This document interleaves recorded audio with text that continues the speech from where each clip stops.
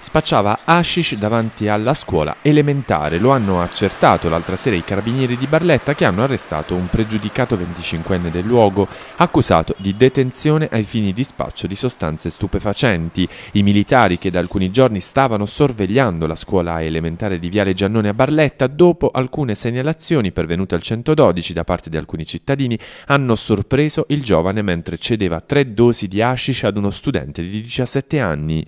Il pusher, infatti, accortosi dell'arrivo dei militari, ha cercato di sbarazzarsi della droga, gettandola in un'aiuola, ma il gesto non è sfuggito all'attenzione dei carabinieri che lo hanno immediatamente bloccato e recuperato lo stupefacente. Perquisito è stato trovato in possesso di altre due dosi della stessa sostanza e 20 euro. Su disposizione della Procura della Repubblica di Trani, il giovane è stato condotto in carcere. Il minore, invece, oltre ad essere affidato ai genitori, è stato segnalato alla locale prefettura quale consumatore di stupefacenti. La droga e il denaro ritenuto provento dell'illecita attività sono stati invece sequestrati.